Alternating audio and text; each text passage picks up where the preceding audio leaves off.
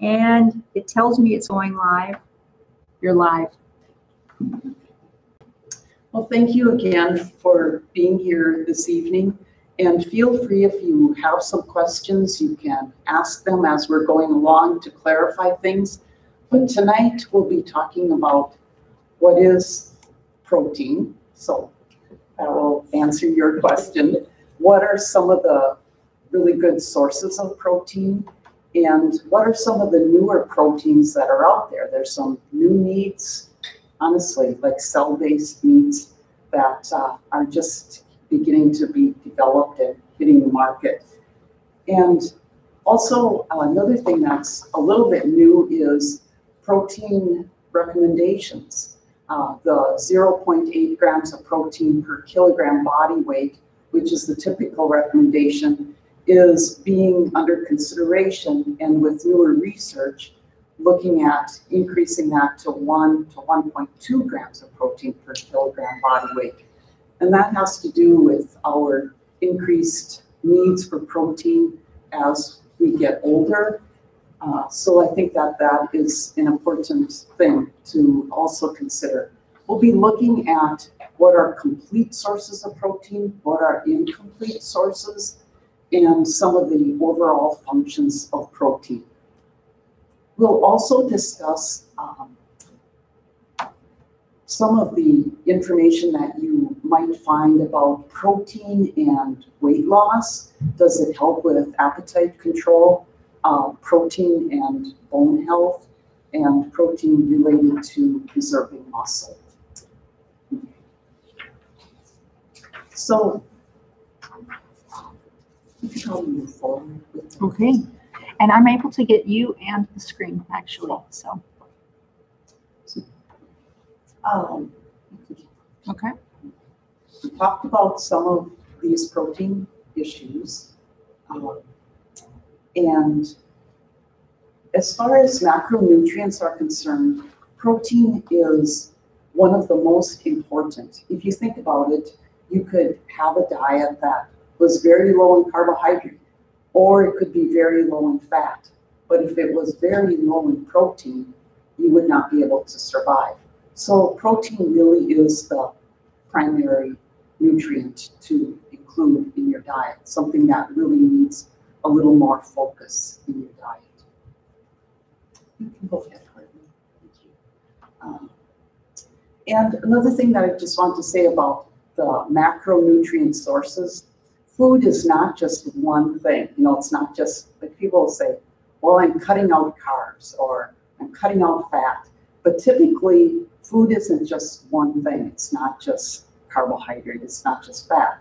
For example, milk would be carbohydrate and protein, or um, a piece of meat would be protein and fat, and so on and so forth. So there's a lot of kind of overlapping with these uh, macronutrient sources. So I know that you can't see this very well, but protein is needed in so many functions in the body, from hemoglobin to enzymes to antibodies to parts of the muscle. Um, it's also a messenger. It comprises, you know, our hair, our nails. So from the top to the bottom and inside and out, proteins are very important. Um, and as I mentioned before, you would, unless you had kidney disease where you really had to limit protein, um, a low protein diet is not, you know, um, typically a healthy diet. So, um, protein can be found in animal sources such as beef, poultry, fish, eggs, and also vegetable sources, plant sources like nuts, seeds, beans, lentils. Those are all primary sources of protein in the diet. And they all have different characteristics. You know, food is um, the whole package deal. For example, uh, some of the um, some of the sources of protein that come from plants are going to have antioxidants and vitamins and minerals that you wouldn't necessarily find in the sources of protein that come from animals. And and different types of fats you'll find in uh, animal sources of protein. So they're all a little bit different. We'll talk about what to look for on food labels and what you might be uh, considering when you make those food choices. So we can go ahead. So thankfully, in our country, we don't need to look very far to find adequate amounts of protein. Um, even though recommendations are going up as far as protein, for the most part, we have sufficient protein. In fact, we actually have a little bit more than what we might actually need if it was spread out evenly. But in other parts of the world where uh, underdeveloped countries have very uh, limited sources of protein, they don't have the complete proteins. And even if people are able to get enough calories, if they don't get enough protein, that is not sufficient for them to grow and to develop normally. You see, in actually millions of children throughout the world are at risk for protein and calorie malnutrition.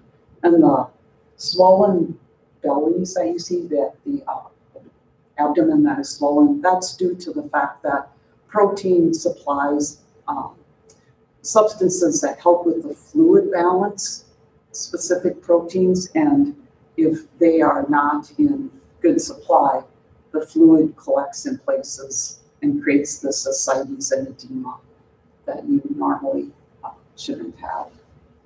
So we can go ahead. But that's not to say that within our community, within our population, there are people who are at risk for protein deficiency.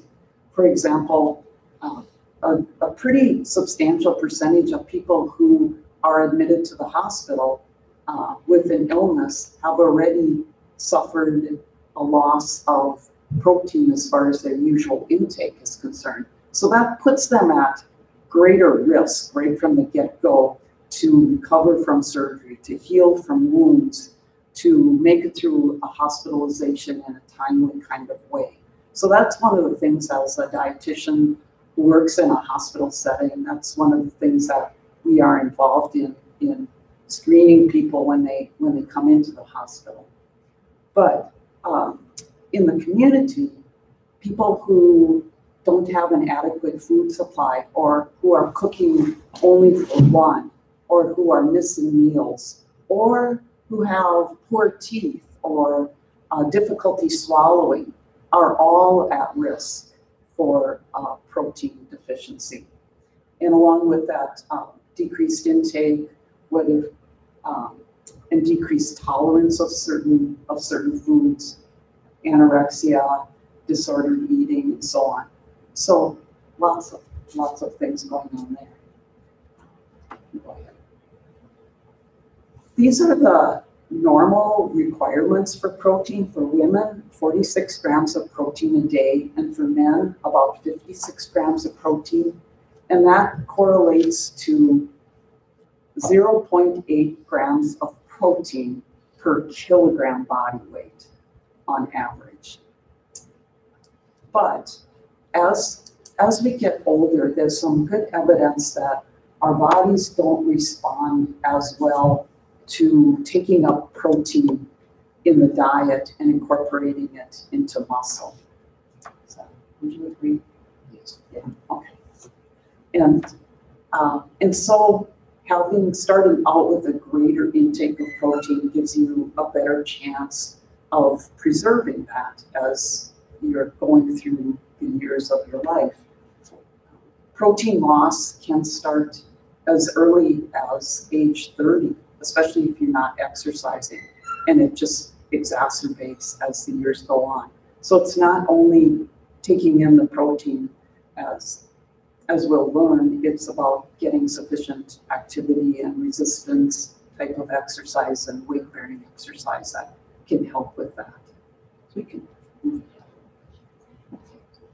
So you can see movement of muscle, the myosin and um, the actin contract muscle fibers, which help you to be able to do activities of daily life, as we can see in the next slides.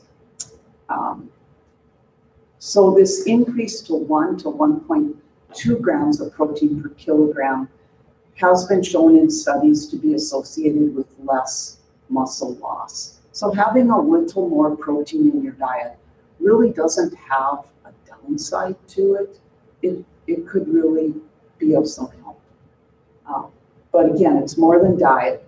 The strength training and the resistance exercise are also really important. Um, So, and I grandchild that can do this kind of stuff. I knew I needed bigger weights when they could carry my weights around. Uh, So just basic things like with carrying groceries or being able to get out of the car or lifting a small child or or getting out of a chair and sitting is now viewed as the new smoking as far as you know sitting for prolonged periods of time. So we all need to be able to you know get up and, and move around a bit more.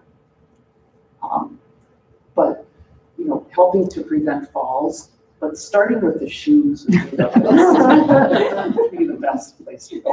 Um, you know picking up things being able to play with your kids or grandkids and do some of those things, engaging in some of your favorite activities. So it's all about that. It's not um, only the wound healing and the prevention of disease. It's being able to be more active and safer as you go through life.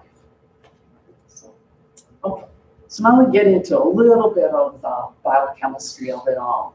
Um, so proteins are made up of smaller blocks called amino acids. Um, proteins, there's and there's literally thousands of proteins, are all very unique. They contain different amounts of amino acids, and the amino acids can cross each other. They can be um, configured in different shapes. So we have kind of a three-dimensional type of thing. So it's so it's all very elegant how this is done in your body. There are 20 different amino acids. Um, and this is obviously pretty darn simplistic, my view of this, but they are linked together kind of like building blocks. And half of, well, a considerable number are non-essential. Um, and some are essential. But when you take in dietary protein, your body starts breaking it down in the stomach with um, hydrochloric acid and pepsin. And then the continued digestion goes on through the intestine where it's broken down into shorter chains of protein. And eventually you get to these amino acids. So there's, there's 20 of them all together. Um, the essential ones and are on the left-hand side and the non-essential on the right. That word, well, they're all really essential, but in this case, the definition of essential means that your body needs to get them from an outside source. Your body cannot create them. So they're kind of like how vitamins are. You know, you have to take in essential amino acids. And you were mentioning uh, the quinoa. So quinoa is one of the few plant sources that are a complete protein, meaning they have all of the essential amino acids. So good choice. And soy is soy is the same way. So hardly with their soy. Oh, Um, sorry. yeah.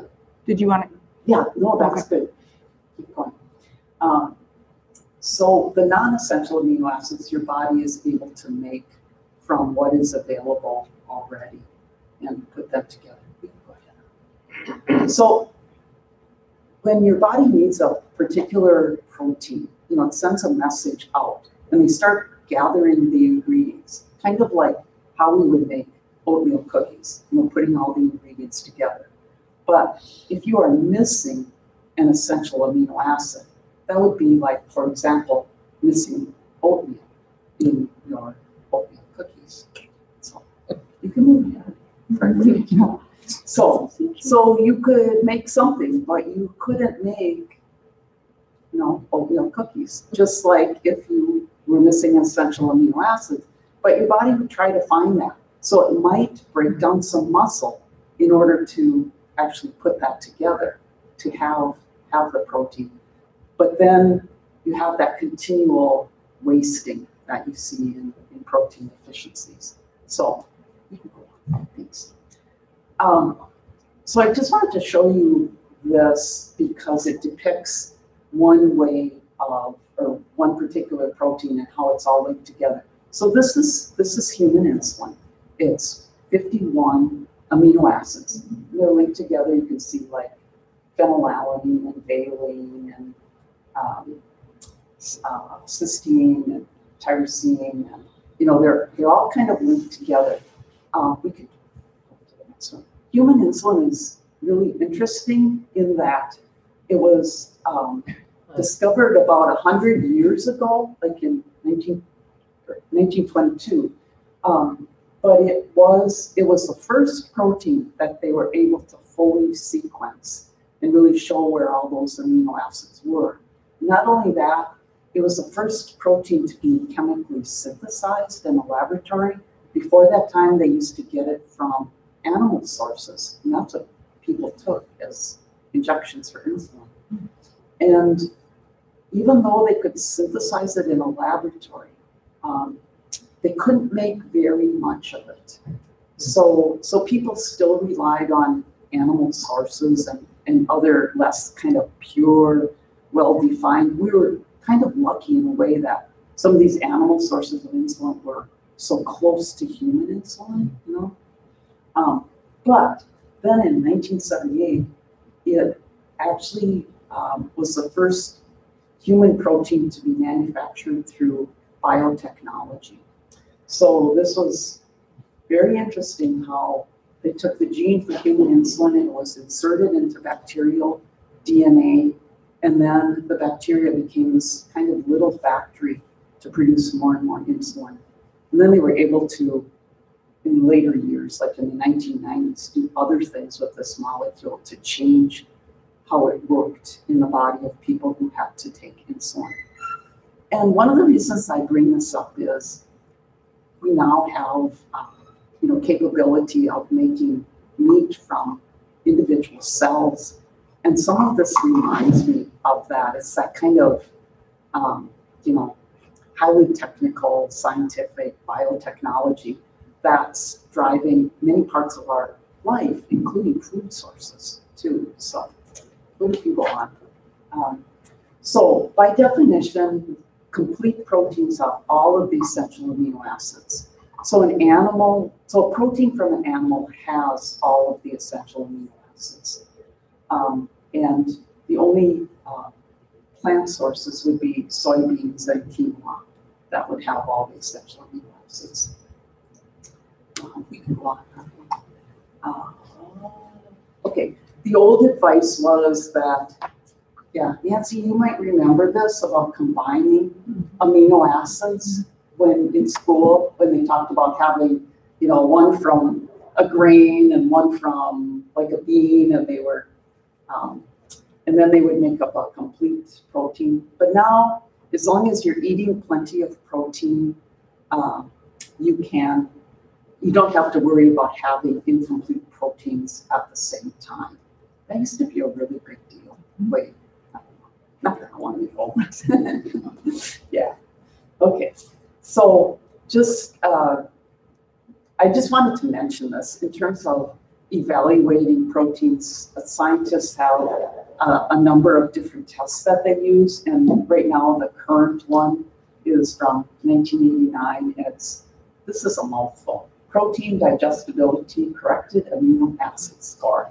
And they can look at proteins and just really see, okay, they have all the essential amino acids, but are they in the right proportion or are they in the best proportion?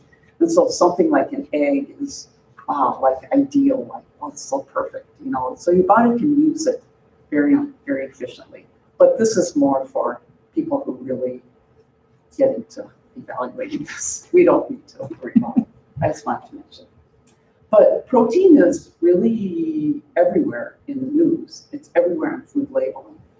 Um, so we can go ahead. Harvey.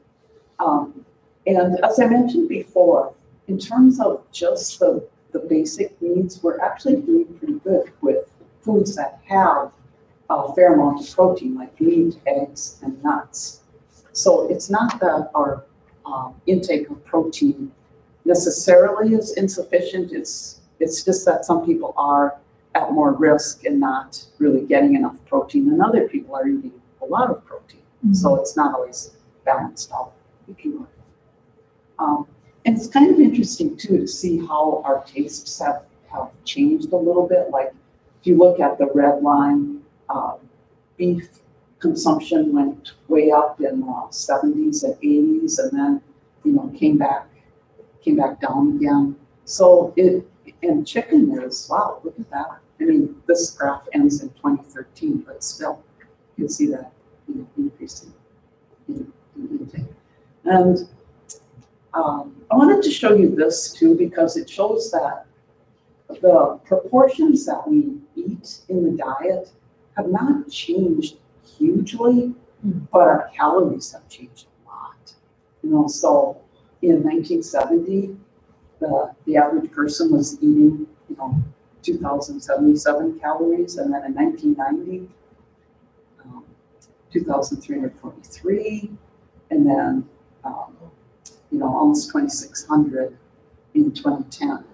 So, so sometimes you read about, um, I guess this is a pet peeve of mine as a dietitian. You read about everybody got heavy because we encouraged carbohydrates. Well, that's not exactly true.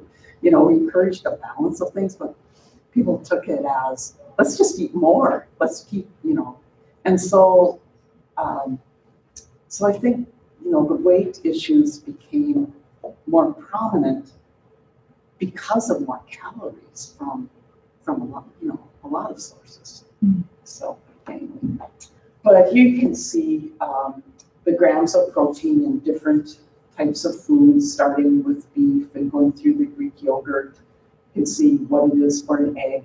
And then when you get down to the cereals and grains and vegetables, smaller amounts, but they still make a contribution to the diet. So one of the one of the recommendations is to try to get about five to seven ounces of protein in your diet. An egg would be a substitute for an ounce of meat. Um, there are you know, substitutes as far as beans or lentils or split peas as far as meeting those those protein needs. In fact, I think I have a handout over there about uh, about meeting those guidelines. So without having to to actually count grams of protein, that would be that would be one way to to look at that. Um, and these are some of the top um, non-animal protein sources, which can supply really pretty substantial amounts of protein. So you know it's tempting first.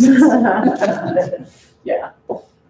But we got, Yeah. Where, where, where does wild rice fit into that? It's pretty close to quin- quinoa, isn't it? it's, it's still considered, um, a, a, more of a, a plant source that isn't necessarily a high protein source. Well, its protein compares favorably to quinoa. It's yeah, about the same, about five Yeah. grams yeah, per serving, but I'm just wondering, is it a complete protein? no, Okay. no, no, yeah, yeah. So- Um, So, lot, lots of options, um, and one is the, this should really be the new plant meat, because that's what it is. Um, so in the, in the plant sources, there's um, a lot of use of, of soy, and there's some use of gluten as sources of protein. But I think the difference with, with it is in this kind of newer Beyond Meat product, they've tried to make it appeal more to people who want something that's more like meat. So it has the texture of meat and it even has some of the bloodiness of meat. I've read that. So So, yeah. I don't know if it's from beet juice or western, anyway. Uh, so, and this comes in, you know, lots of, lots of different forms. So this is one of the, one of the newer ones, but again, it's, it's a, it's a plant-based one. It's not a, not a cell one. Um, okay, go ahead. Did I go too fast? No, No, that was okay. fine. No, that was fine. So guidelines in selecting, you know, look at the label. If you're replacing it for beef, chicken, or fish, aim for at least ten grams of protein. And twenty would be, I think, better, to tell you the truth. Um, many of those products are pretty high in sodium. For example, if you had three ounces of chicken or three ounces of roast beef, the sodium level would be maybe eighty or ninety milligrams of sodium. But these in that amount have like three hundred fifty is not unusual. So, you know, if you're really watching your sodium, it starts to add up, you know. um, And look for heart healthy sources of fat rather than saturated fat sources. Um, corn was something that came up when I was doing the research on this. This was introduced um, in the US not so many years ago. It's a, it's a mycoprotein that's based on a, on a fungus. And in the initial labeling, it compared it more to mushrooms and it gave people the impression that it was related more directly to mushrooms. And so the Center for Science and the Public Interest petitioned the FDA and said that the labeling needed to be changed because there were apparently some severe allergic reactions.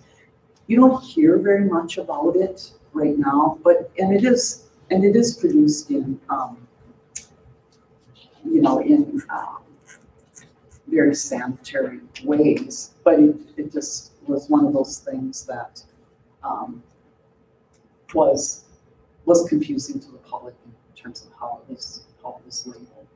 So that might be something that you want to check on, you know, if you're discerning what to buy.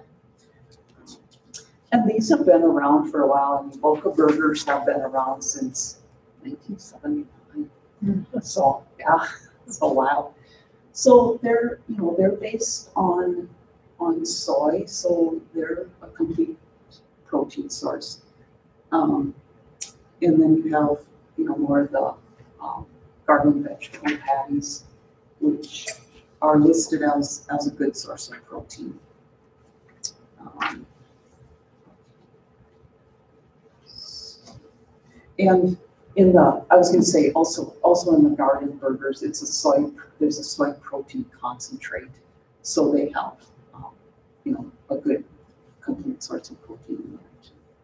Thank you.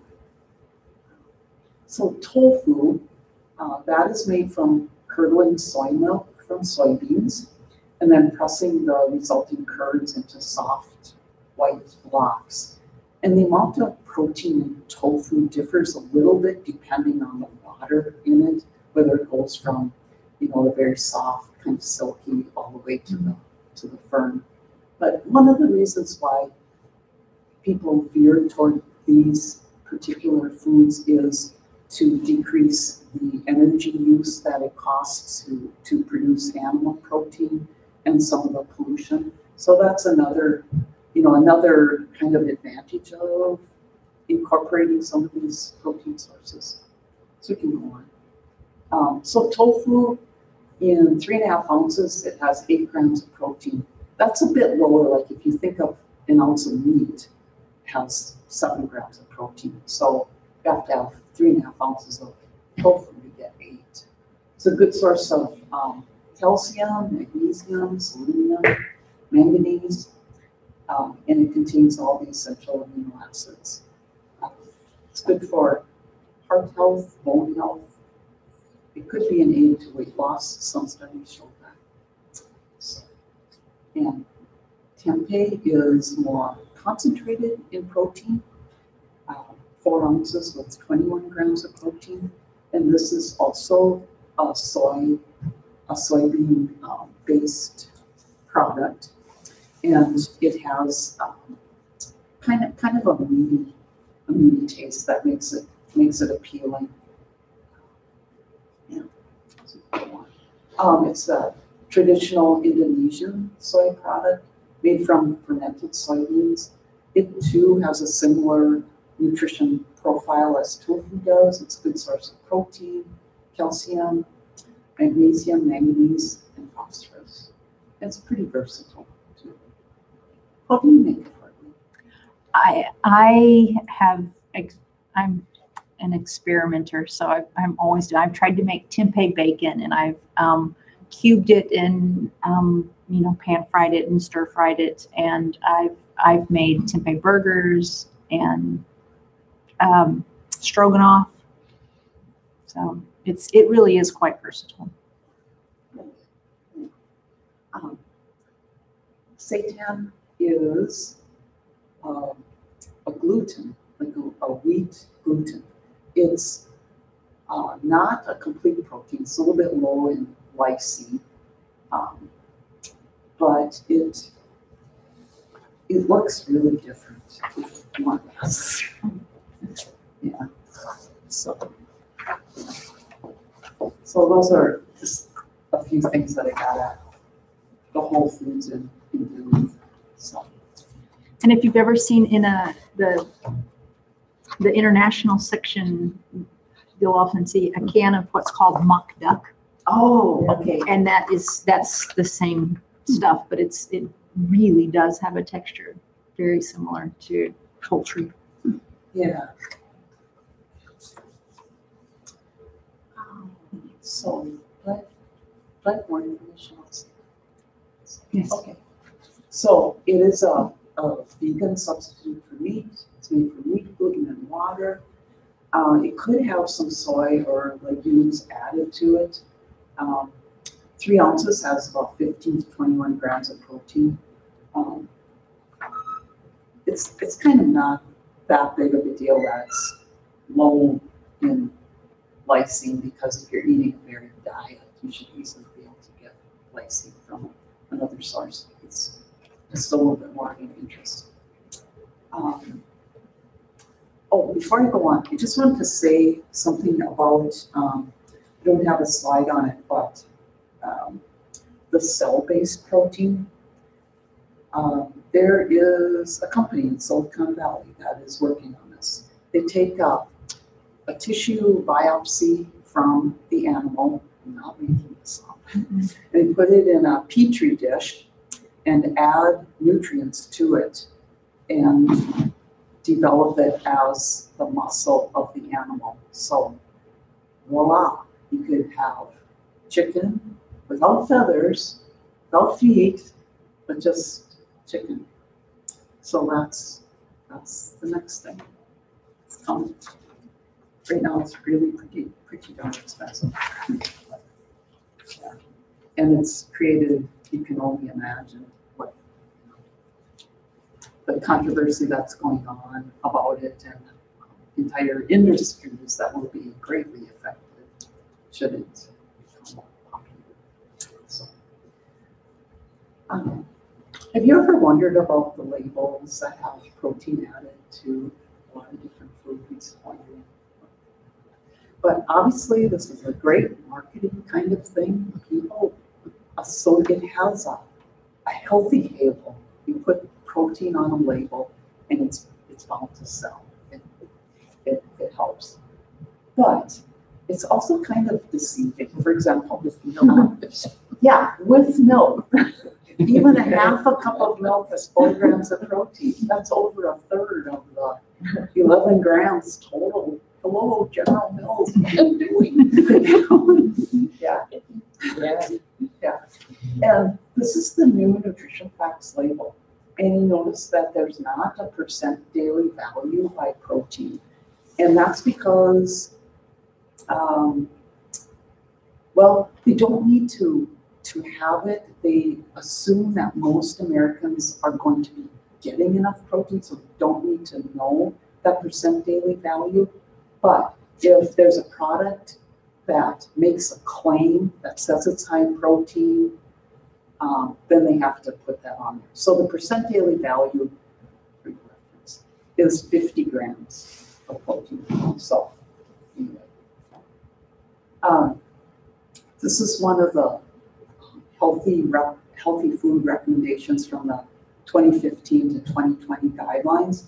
It's to limit calories from added sugars and saturated fat and to reduce sodium intake.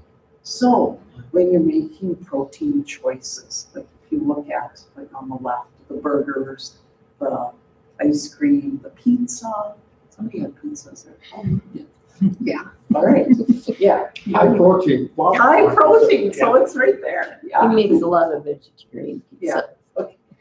I'm just kidding. Anyway, um, so that, you know, that's, that's always something to consider too, and, yeah, pizza's, like, pizza's a great food, it's a great source of nutrition. Um, we can look at, we can look at the next slide. So, so having, um, items with lots and lots of cheese, um, cheese can be pretty high in saturated fat, or some um, say hot dogs, um, variety meats, lunch meats. You know, they have seven grams of protein per ounce, but they also have eight or nine or 10 grams of fat, as opposed to chicken or fish. That would be significantly less. And so, if you're wanting to get adequate protein but not too many calories, you want to look at the, the amount of fat also, as far as that goes, and then the nutrients. And then um, does adding protein make a food more healthful? You know, it's like, these are cookies or ice cream. Um, and they still are. Um, Or cupcakes or ice cream sandwiches, even if you add protein to it. So, and they're not kind of free. That's another thing too, you know, protein has four calories per gram. So it's not free, but it's gotten such um, an elevated sense in our in our food culture that we kind of think of it as, as a free item. Um, so again, the protein and the calories that go along with some some of these different yeah. Okay. We can go on. So so the RDA was, was interpreted in the beginning to meet more basic or minimal needs for healthy people. But if you're a person who's bodybuilding, or if you're a person who needs more protein because you need to heal a wound, or if, you know, as you're gradually getting older, your protein needs go up, you have to, you know, a person has to be aware of that. These were these were really very basic, basic needs. And in fact, like in the hospital setting, when we're calculating out somebody's protein needs, we almost never use 0.8 grams of protein per kilogram. It's, it's really too low for that, especially for that population. Um, So someone who's had bariatric surgery, an elderly person who's at risk for that kind of muscle wasting, wounds, trauma, increased needs for healing. Um, and then one of the questions that comes up is, is a higher protein diet more effective for weight loss? And in some studies it does. It's a mixed bag. Some studies show that it that it is a little better, but then when you look at things in the long term, it doesn't necessarily come out ahead in terms of weight loss. So it just depends. The other, the other thing too to look at with diet, with diets for weight loss is on either extreme, people tend to come back to the middle.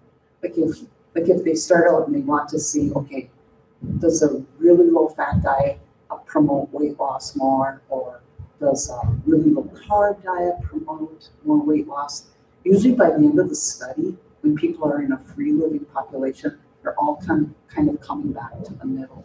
Those kinds of diets can't be sustained very well. That's why. So this is kind of interesting about manipulating some of those things. Uh, is there a downside to eating too much protein? Well, There, there can be, like if it's displacing other things that you should have in your diet, like fruits and vegetables and whole grains. Um, Most of us could eat more protein except for people who have renal disease, then it's definitely a downside. Some of the things that used to be concerns regarding protein aren't as much now, like they used to say, oh, the average person, it's hard on your kidneys. Don't see that too much anymore in the literature. And the same thing, it used to be if you had uh, too much protein, it would be um, bad for your bones. And the research doesn't bear that out, but they do make a point of, of emphasizing that you should have um, adequate calcium and adequate vitamin D if you have a little bit higher protein in your diet. So. Um, this is, um, this is one example also of figuring out, um, protein needs in a couple different ways we can go on. Um, so not only is there the RDA, there's another way called, including to this in your, you know, your equations, I think. The, um, we can go on the, the acceptable uh, macronutrient distribution range. So if you look at protein in that light, um, you know, and sometimes I'll see it like from fifteen percent to thirty-five percent, or even ten percent to thirty-five percent. But in any case, thirty-five percent is kind of the high point of it. If you were, we can go to the next slide. If you were figuring out your range based on that, like this hypothetical person, who happens to be standing in front of you right now. So, um, it would be fifty to hundred seventy-five grams of protein. So it's really big, a big range. So, yeah, yeah. So, I think, I think I talked about this, we can move on. Um, Is it better to distribute protein throughout the day? Um, the studies are kind of mixed on that, believe it or not. I thought it would just be automatic that it was better to distribute it, but not necessarily. Um, but I think in order to obtain sufficient daily, daily intake of protein, it's probably better to distribute it because rather than trying to eat it all at, at one time. So, okay. So here we go. How would you improve this diet? Um, first of all, you can make a comment about this diet. Like, I could say, I eat this way sometimes. But what do you think? I think yogurt for breakfast instead of toast. Okay, so that would, that would put you up about ten more grams of protein right there if you had a Greek yogurt, so that's good. Any, anybody else? Egg on the toast. Put some, like, Poached egg on the poached egg on the toast, very good, so that would bring out seven grams. How about some peanut butter on that banana? Yeah, okay, yeah. Tablespoon or so, yeah, that would work. Okay. How about the chicken noodle soup? You know, we saw in one of the previous slides that that was, canned soup is only about six grams of protein. So, And lots of salt. and lots of salt, yeah, yeah. What, what did you say, I'm sorry? I, I just wish they wouldn't put so much Oh, salt. in yeah, I my food agree. Because I I, agree. I enjoy soup, but, Yeah. you know, that's, Um, So, well, one thing with the chicken noodle soup, uh, you could add something else to it if you wanted to. I mean, something that would have protein. You could add some lentils or split peas or beans, or maybe you have some canned chicken available or some leftover. Um, you know, or you could make your own and just include all of those things. That would. Um, uh, we could go. Those are all very good suggestions. Um, how about this part?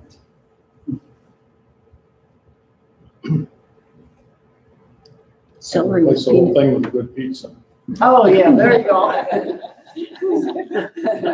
Celery with peanut butter. Then we'd be done. So, you- yeah, there you go. Peanut butter pizza. Yeah, yeah. Sounds good to me.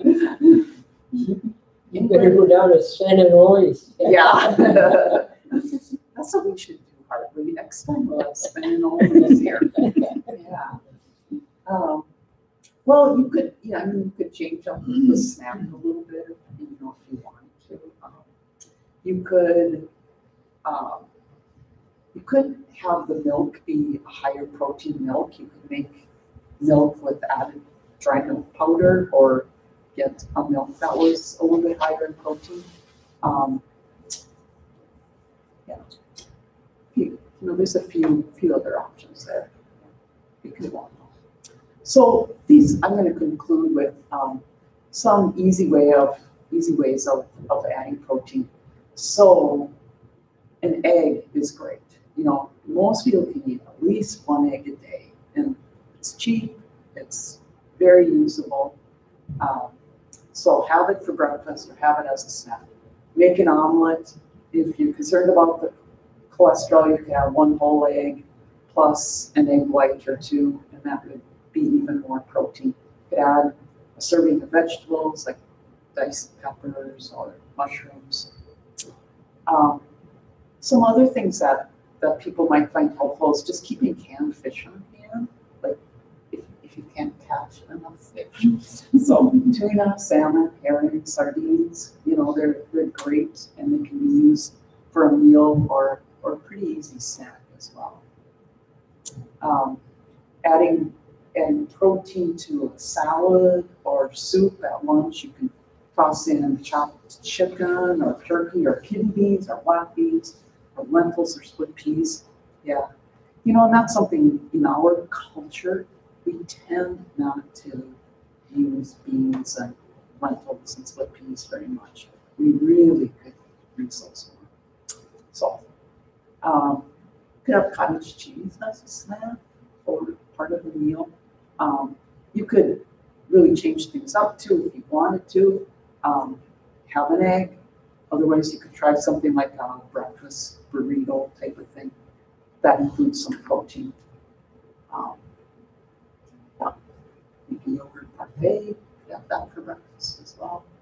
Or high protein pancakes. You know, um, Kodiak pancakes, they're high in protein. And if you, you know, want to include pancakes and have them be a little bit more dense in terms of the um, protein content, that would be one way to do it. I'm sure you could figure out a way to do that from your own mix as well by adding some protein components. Um, you know, something like Fairlife milk has more protein in it, has longer shelf life. You could make double strength milk with a non-fat dry milk powder. You could do that too. Might be on my slide. So, questions? Any, any comments? Anything that, well, gee, I hate to hear such and such and you do talk about it. But anything? What do you think about adding whey to your diet? I'm glad you, I'm glad you mentioned that. I think whey would be a, a nice addition to a diet. It's, um, but I would, you know, and I would have it with something else so you get more, um, you know, more nutritional value, like, you know, have it with milk or with fruit or, you know, something like that incorporated. But I think, I think it's an easy way of adding a complete protein. Yeah. yeah. Um, Any any other questions? So better idea what. Does fruit have protein? Fruit does not. Okay. Yeah, fruit and vegetables are low. Yeah, yeah. So meat, poultry, fish, eggs, those are really good sources. And then beans and lentils and split peas, cheese, milk, those are also very good sources too. Yeah. So, Yeah. Yeah. Um, How much protein does a can of Ensure? Oh, it depends on what Ensure you are using. Yeah, there's so many different ones that are out there. There's high protein Ensure, Ensure live. But, um, on the average, it's about twenty grams.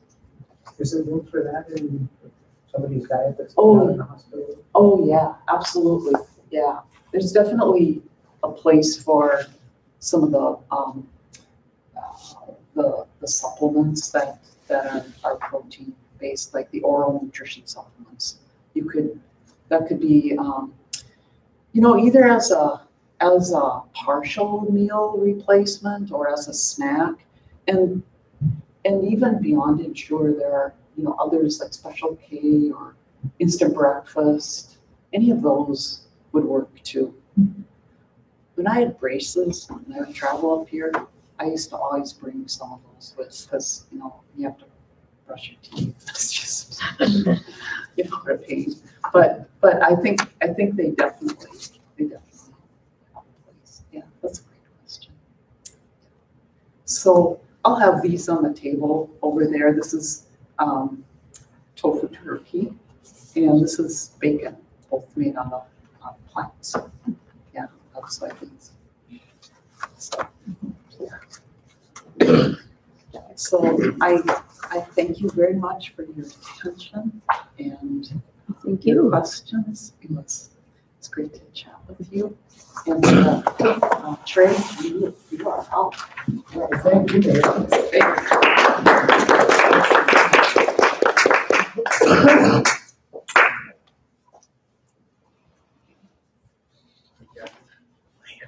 I don't think you guys. So again, I'm Treg from Therapy, just down the hall. And, uh, Thanks for having me today. And Mary, that was, that was really helpful, informative. I hadn't thought much about protein and diet lately. I just know that I like lots of protein myself. Um, So I'm going to talk about building muscle and uh, um, as a physical therapist, we help people do that, uh, people that are injured, but we also help counsel people that are uh, trying to just overall improve their general fitness. Um, Muscle mass uh, or lean muscle mass is a real important thing to have. um, As Mary mentioned, strength, getting out of a car, playing with the kids, or uh, doing things that we like to do, skiing, doing those kinds of things. Um, There are a lot of benefits to having uh, more muscle mass, and it's more difficult as we age. Um, Hormone levels do drop, and it is harder to maintain a muscle mass as we get older. It's also harder to maintain bone density. And bone density is maintained, as we know, by um, weight-bearing activities um, and, and strengthening activities as well. And so um, by, by building up muscle um, strength and mass, we're also building the bone mass because the bones have to respond by getting stronger as along with the muscles. So we're training muscles. So a lot of benefits to, to building some muscle. Um, I'll talk a little bit about just some general principles and some specifics about uh, strength training um, to, in order to build muscle. And so uh, I'll first talk about some equipment, and it can be very simple. Um, but two components that we consider when we're trying to build our muscles is the amount of resistance, and so we consider that. And we also look for overloading the muscles. So that's important to overload a muscle in order to trigger the strengthening process. Um, Minimal equipment is needed. You can use dumbbells, hand weights, resistance bands, weight machines, or body weight and self-resistance motion, motions, uh, like what Charles Atlas um, did. That's what made him famous. And uh, when I looked at, I, I did, a- this is great to, to do some research for this presentation because I always thought, and I heard it first in PT school, that Charles Atlas got strong on isometric strengthening. Did anybody else heard that? Um, isometric means no motion. And so you know, the, the thought was that it was just pressing against the body uh, and not moving, but contracting the muscles vigorously. Well, as it turns out, he used isotonic strengthening with his own body. And so instead of just not moving, he would move through a range of motion against his own resistance. And so just to, kind of geeked out on that. It's fun, fun to learn about that. Do we still do that now? Do we, yeah, do we do those kinds of exercises? We don't use the self-isotonic uh, so much as we use a lot of isometric. Isometric strengthening is extremely safe. We use it to uh, rehab tendonitis because a tendonitis is more of a movement uh, inflammation generated by movement. And so we want to strengthen those muscles without the movement. so. Usually it's against the wall, or- but we do, we do some self-isometrics for the shoulder. Yeah. Um, Next, I'll talk about progressive overload. Um, In order to, um, I'll- just read this here, the stress or load on the muscle must be greater than what the muscle is used to. It's spill behind So if you can picture what a muscle conversation might have, um, it might say, if this is how it's going to be, and we don't want to fail, we better build ourselves back up stronger. So the muscles, uh, if we, if we do an exercise or an activity that um, is, is uncomfortable, so everyone's carried something too long and had the arms burning, right? Um, Well, that's the muscle fatiguing and failing, and it's actually, the burning is from lactic acid building up in the muscle, and that's painful. Well, um, so what that does is sets up a process of our body building that muscle up stronger. It, it does that, but first it has to heal the muscle because there's micro trauma in the muscle. And so that triggers that strengthening process. Um, And so we need a recovery phase after we do the strengthening. um, And that mu- muscle is actually calling for the building blocks of the muscle fibers, which we under are the proteins that make up the actin and myosin filaments in the muscle tissue itself. Um, And we, so the muscles pull that from the bloodstream. And so if we've got enough protein in our bloodstream after we've um, triggered the strengthening process, then the body's got what it needs to build that muscle up bigger. Bigger, stronger. And uh, it's really interesting because um, when a muscle gets bigger in response to training, it gets bigger in part because each muscle fiber gets bigger, but also probably um, a bigger component of that or bigger factor in that muscle size is the blood supply. So the blood vessels actually get bigger as well to feed that muscle tissue and to bring it glucose and uh, oxygen, all of that. And also the nerve input improves. Muscle memory in the brain is also enhanced. And so um, uh, one example of muscle memory that can cause us trouble is um, as a young person, if we're used to exercising lifting and carrying heavy things, helping your buddy push a car out of the ditch. Um, if we get older and don't keep those muscles strong, and our buddy or somebody gets in the ditch and we want to go help them, our body remembers how to do that. But the tissues aren't strong enough to handle that much force anymore. And that's a classic example of tearing an Achilles tendon. Um, we see that occasionally and it happens when we're in our 40s, 50s, 60s. Um, and so that muscle memory is, it, it's usually extremely helpful. Um, that's that's a, an example of where it causes trouble sometimes. Next, I'll talk about program design in a strengthening program. And so in order to build muscle, then we need to strengthen, we need to do exercises or something that challenges our muscles that what makes them want to get stronger bigger. And so I'll talk about intensity.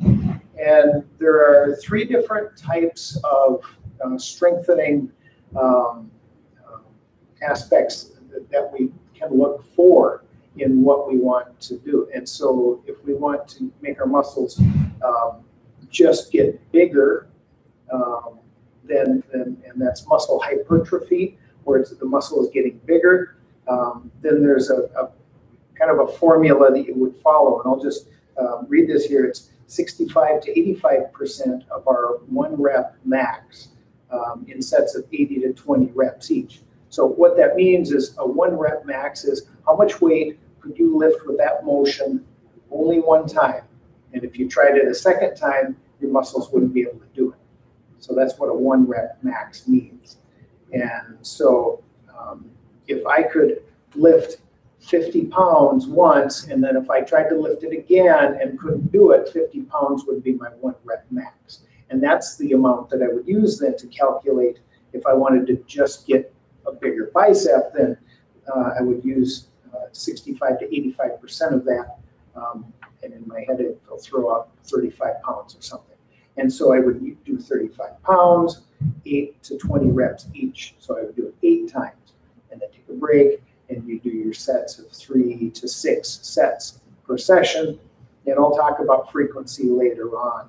Um, but then looking for strength and power, so something more functional, I would say, than just having big muscles. Um, you would uh, perform um, at an 85 to 100% one rep max. Um, and repeat that only one to four times. So obviously, if you were lifting 100% of your max um, in this uh, high intensity training workout, you would just lift that one to four times, um, and so on.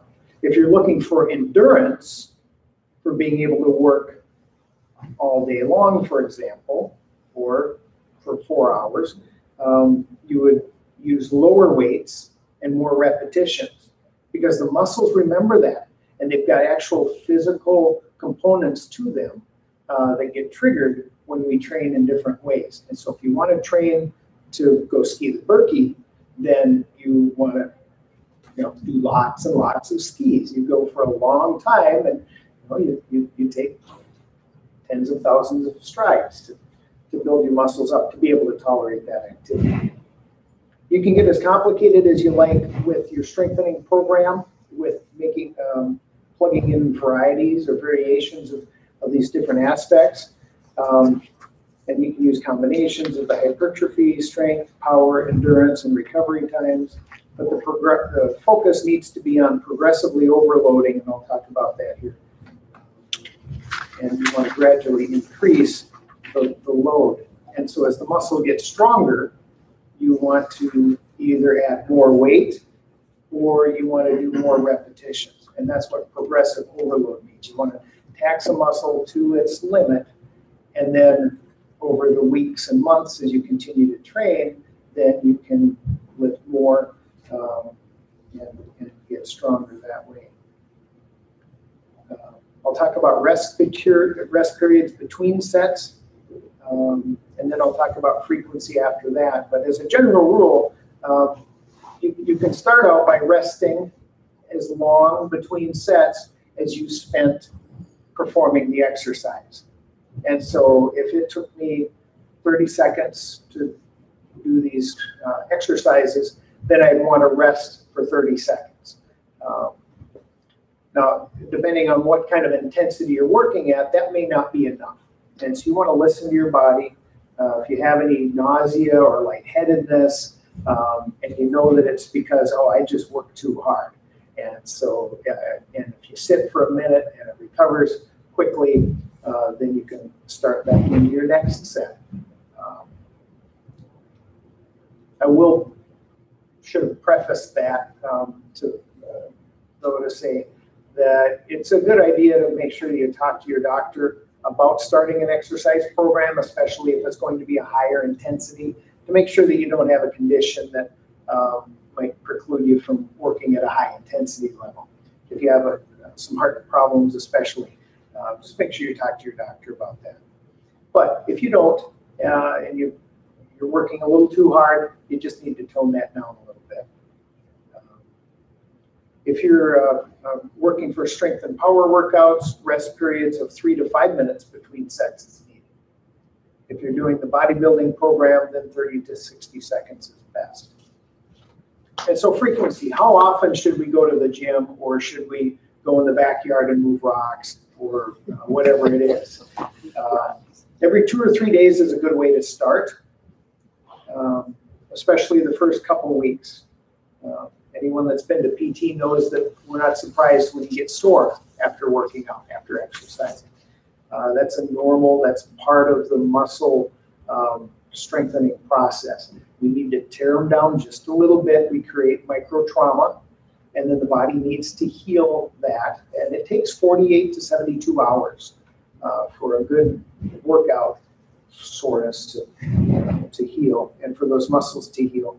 And while they're healing again, they're getting stronger because of that, that trigger that we, that we gave them. Now, having said that, two or three days is, is a good way to start, but you will see strength gains if you only exercise, if you only strengthen once a week. Not as fast as if you work out two or three times a week, but you still will once a week.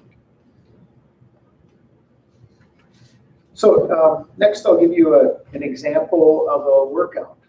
Uh, there are thousands, literally thousands of different types of workouts that you can do. Um, and if you have questions or just really apprehensive about getting started, uh, they do have some personal trainers that help people over at the YMCA. That's a good way to go. Another way to start would be to um, take one of the exercise classes at the YMCA. They've got some with resistance training there uh, that would be really good. The people there are uh, well trained um, and can help watch out for, for training errors that might cause an injury because you don't want to have to come and see us. So a total body workout is that there are different types of workouts. You can work out isolating each muscle, which is pretty high tech. Yeah. Um, and yet you have, have to have a good understanding of the anatomy to do that, but that's what the bodybuilders do.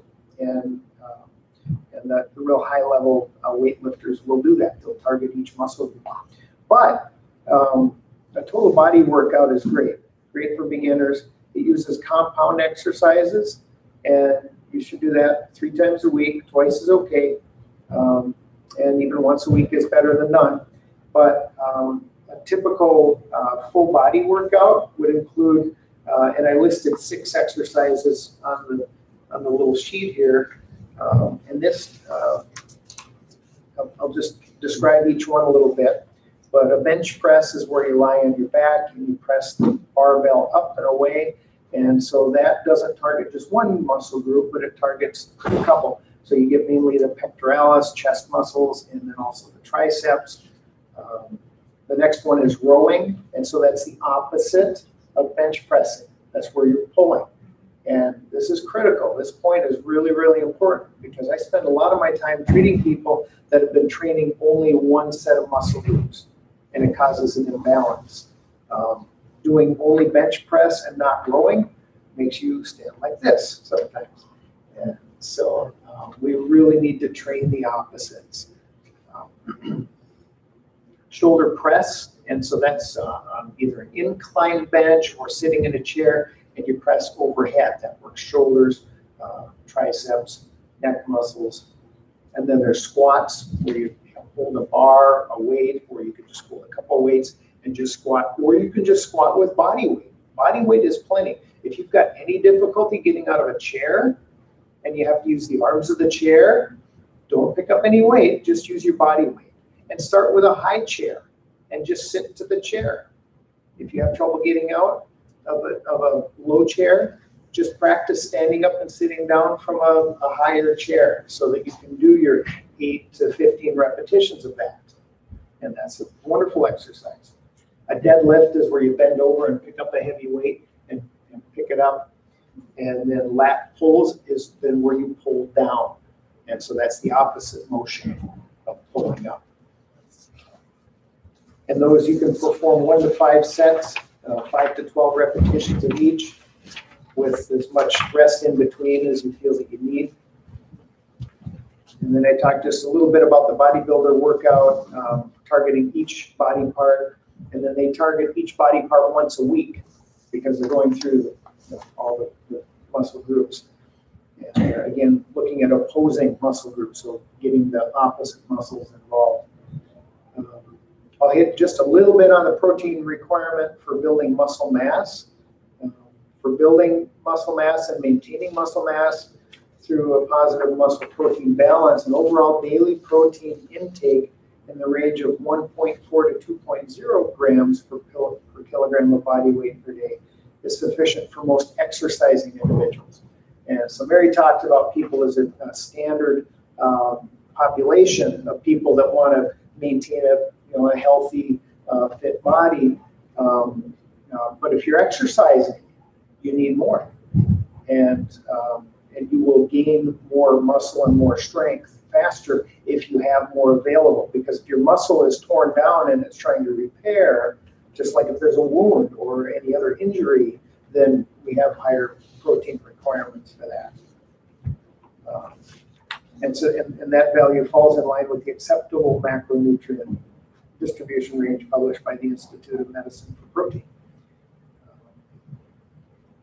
Um, I guess that my only parting thought was, and, and I mentioned this earlier, but make sure you check with your doctor if you have any concerns about whether you should start an exercise program, and if you have any conditions that need special monitoring.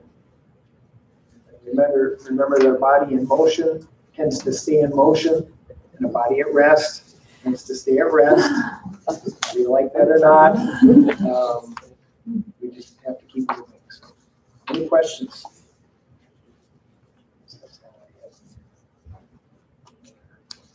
I was, I was pleased to learn that increasing muscle mass and strength is not just a young person's game. It's Oh. not like you hit 35 and what you've got is what you've got. Right, It's that there's, there's even elderly people can increase their muscle mass and get stronger. definitely. So it- There's classes at the Y that are amazing. Now that I retired, I almost go like four times a week. But I wasn't sure about with the, the weightlifting, how often and, you know, and how much. I don't want to hurt anything, so I don't know how gradually to go up. How, how would you suggest that? Just stick to a certain, certain weight? Because I do the strength and then there's an active one where you get your cardio and weights, and then there's one that's just strength. Yes, And that one was today, but I'm never sure how much I should put on or use, because I don't want to hurt anything. exactly. Well, if you, so if you want to gain strength from where you are now, Mhm.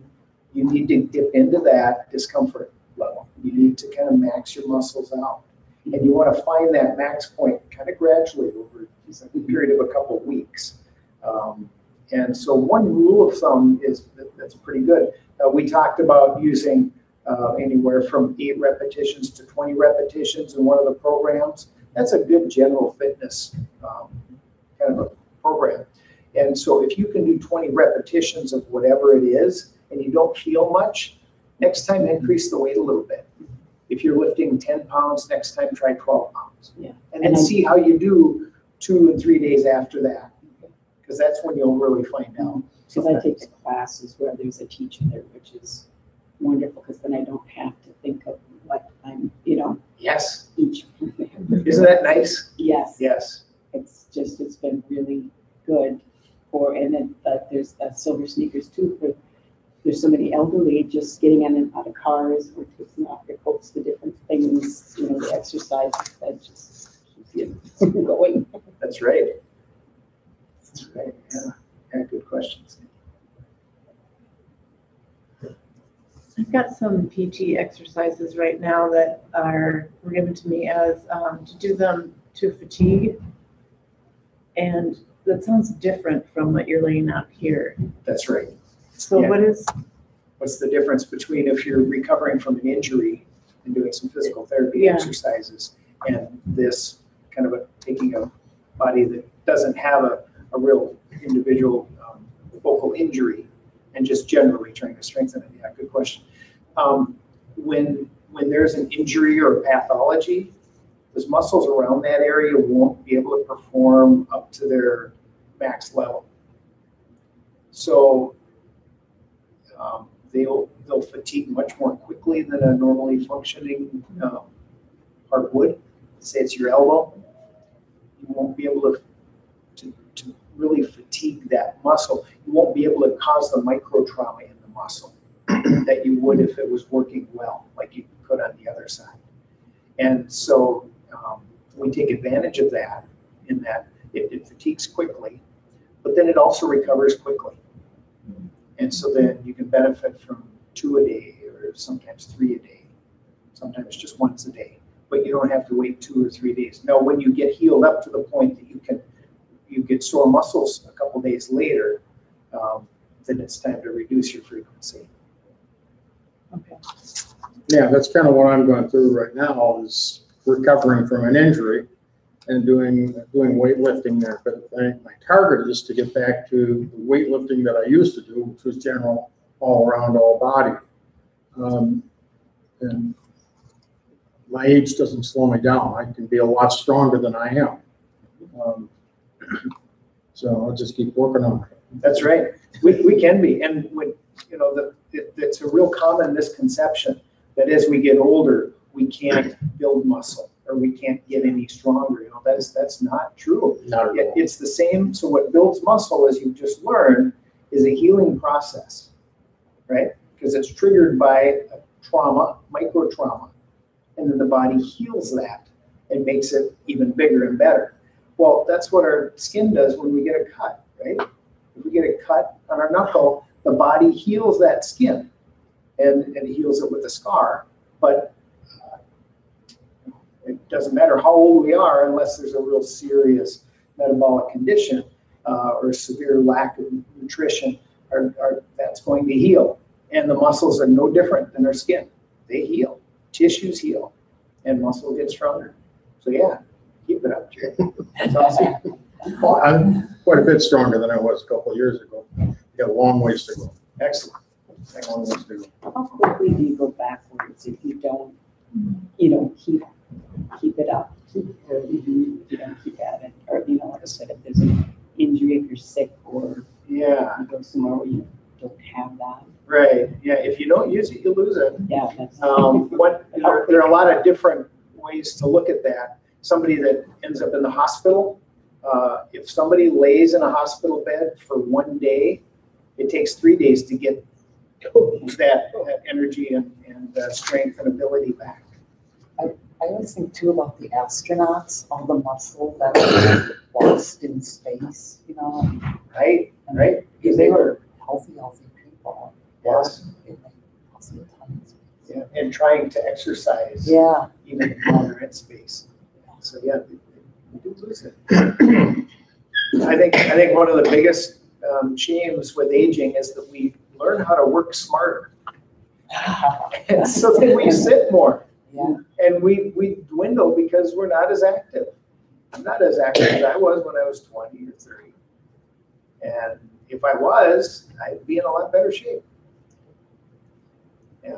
I really appreciated what you said about uh, bone density and muscle. That um, was just golden because, you know, I think the risk of having a fracture um, is so debilitating when you get older. And, um, you know, maintaining strong bones is just, so Right. you really address both of those.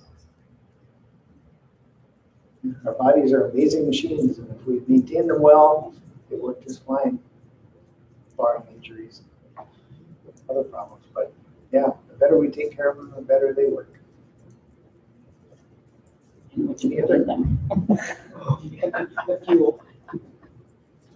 Any other questions?